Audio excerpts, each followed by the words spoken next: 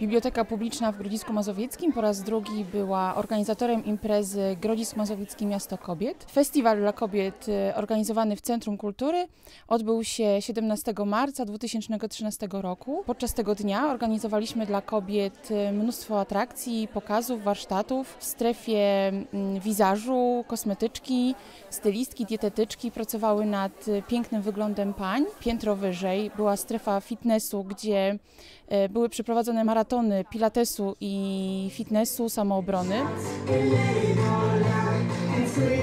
A na samej górze po raz pierwszy zorganizowałyśmy strefę domowej bogini. Tam odbywały się warsztaty i pokazy dotyczące dekoracji domu, zdrowego gotowania, parzenia kawy, degustacji win. Tegoroczny finał Miasta Kobiet zorganizowałyśmy na sali widowiskowej Grodziskiego Centrum Kultury. I tak jak w ubiegłym roku metamorfozom poddało się pięć mieszkanek Grodziska Mazowieckiego. Efekt był spektakularny.